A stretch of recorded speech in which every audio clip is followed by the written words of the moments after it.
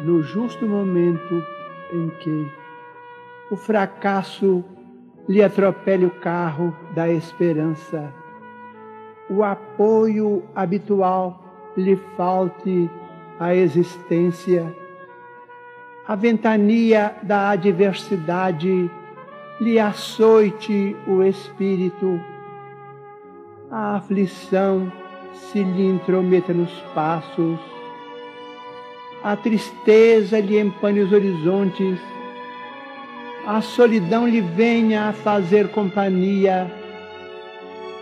No momento justo, enfim, no qual a crise ou a angústia, a sombra ou a tribulação se lhe façam mais difíceis de suportar, não chore e nem esmoreça.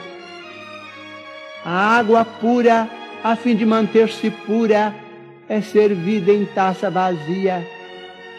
A treva da meia-noite é a ocasião em que o tempo dá sinal de partida para novo alvorecer.